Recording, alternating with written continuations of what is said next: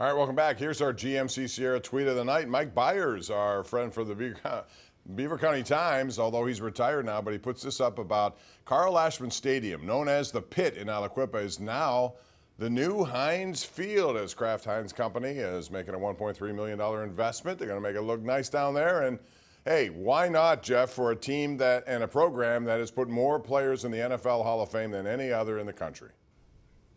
Yes, uh, that that was awesome. I, I saw the readout of that. That was cool. You have to tell all of Mike Byers' story, though. You know the background of what he did in high school, right? Oh yeah. Do we have time? So he was.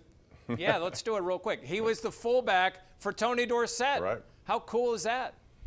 And Tony Dorsett was not Dorset; he was Dorset. And until you become famous, you can move the accent and you know change your name a little bit. And he did. and uh, it was great watching him because I went to Hopewell High School and I saw that stuff going on down there. It was pretty amazing. But Mike Byers had a long career as a writer. Uh, and he was good as a lead blocker, but better as a writer. So, congratulations, Mike. Wouldn't you like to block for Tony Dorsett? I mean, like, how easy would that be? Well, I'd get pancaked. No, I'm not going to do that. There's a reason I do this. I ain't going to do that. 412 575 2600. Let's go to our number one Cochran Go One Better call of the night. We're going to go with um, John in Oakmont, who's our first caller tonight. Hey, John, what's up? Hey, Bob.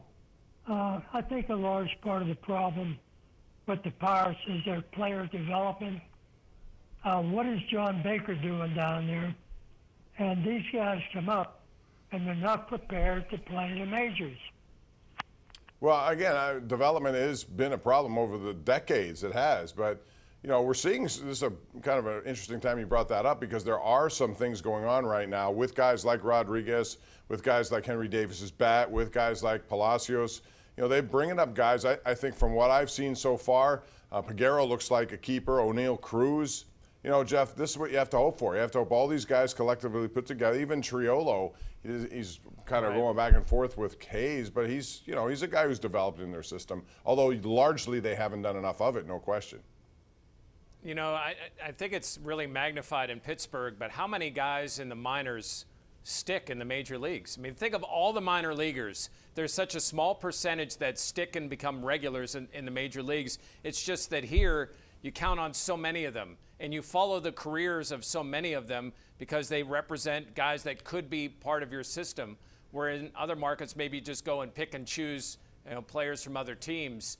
Uh, I, I, don't think it's as bad as it might be let out. And if you watch the last, what, 10 days, they've actually you know, had some exciting plays. And you mentioned some names uh, that are showing some glimpses uh, in their first chance at the majors. Yeah, we've seen, though, glimpses, and you, you get kind of fooled about the glimpses and then they don't turn out or pan out the way you want. So it's got to be a sustained thing. Even with Keller, for example, how many years have we waited for Keller? And now he went through from May until this May, really solid stuff, some of the best numbers. And now I don't know what's going on. Do you have an opinion about why his game has fallen off so much? You can say a lot of innings, but he had more innings last year. Yeah, I don't think it's the innings. He's just inconsistent now with his stuff. I mean, his stuff isn't what it was at the beginning of the year. He could throw everything for strikes at the beginning of the year. It was amazing what he was doing. Remember, he had that game that was, what, like an hour and a half long yeah. or two hours long? Because, I mean, he was just right on top of his stuff. It's not there right now. I mean, you don't see the control. Uh, and I, I hope that the confidence isn't waning. Derek Shelton says it's not. Um, but you wonder, I mean, everybody gives up a home run to Acuna mean, that, that happens to pretty much every pitcher, it seems. Uh, and this is a good lineup, but man, he gave up a lot of hard hit balls again today. Yeah, that lineup, anyone could hit home runs in that lineup. It's one of the best lineups going in uh, baseball. Mike Vernon on Twitter hits us up at KD Pomp at Jeff Hathhorn. Uh, Jackson was rolling along through the Braves lineup. Bednar is overworked right now. Shelton should have gone with Jackson to finish. I tend to agree. I would have started him in the night just to see, but you know, again, I'm in an experimental time of my uh, analysis of this team. I want to see more from people like that. Let's go back to the lines. We got Dave in Verona who joins us, and he has an interesting question about a topic that we already brought up tonight. Go ahead, Dave. How's it going, guys? What's up? Hey, Dave. Hey, um, I was just wondering why you guys are so set on Henry Davis becoming a catcher when they didn't really draft him as a catcher. They draft, drafted him as a hitter. And personally, I'd like to see him develop in right field because it's nice to have uh, uh, an arm like that out there? And also, um, what about Rodriguez? Are we just going to push him out, or? No, there's a way to do both. I think at this point.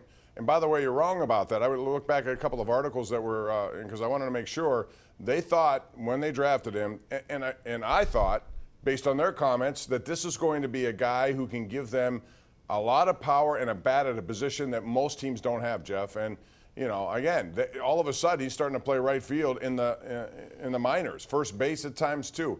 Um, I just want to. He caught his entire career, or at least most of it, at Louisville. So I don't know. It just seems to me that I, I would take this time. This time, you have two months basically. Let's see what he got. And if he can't do it, then he can't do it.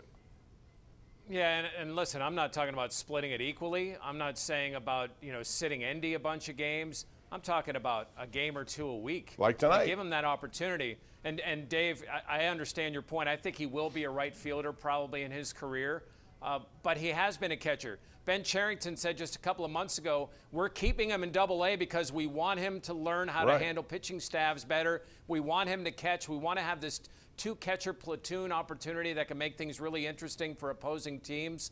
So why not give him a shot behind the, the all right, we're due for a break. We'll take it. Come back with more right here. It's the Ireland Contracting Nightly Sports Call, Pittsburgh CW.